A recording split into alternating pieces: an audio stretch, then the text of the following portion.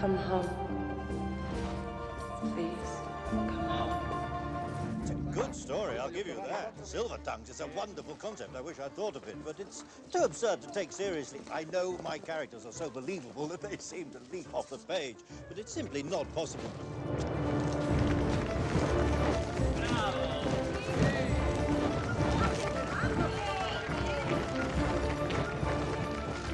Exactly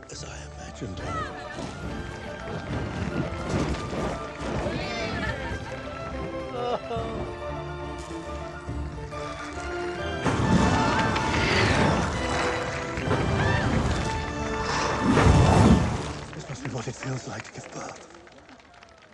Wait, no, but where are you going? He doesn't want to meet. Of course he does. I'm practically his father. What was that at the end? It's called Dragon's Breath. You can teach it to me? I'm sure that this must be very exciting for you to to meet your ah. characters. But the whole purpose that we came here was to find a way to get him back in the book. Your father's just given me an idea for a character. A master thief who steals things the way a blue jay swipes shiny objects off windowsills. I am not trying to steal your characters. Snatched them out of my book, and now you're trying to keep them from me. That, my friend, is pure thievery. I'm just trying to get my wife back. Dustfinger, I tried to stop him. so Oh, no, wonderful no. to meet No. you. The scars are perfect. As hideous as I imagined. I told you he's afraid. Oh, not me, I hope. Oh, he's, af- he's what happens at the end of the book. What do you mean, because he dies? Oh, no. Oh, I see. Right, I'm sorry. He dies in the end? I had to make the story exciting. That's my job. They can't all have happy endings. Life doesn't always, after all.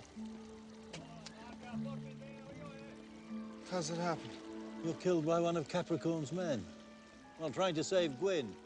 It's a very touching death scene. I cried when I wrote it. You think I care what you wrote? You don't control my fate. Otherwise, I wouldn't be here. I'm not just some character in your book, and you.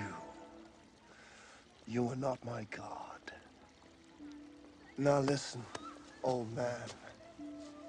Do you have a copy of the book or don't you? Because I would like to go home now, please.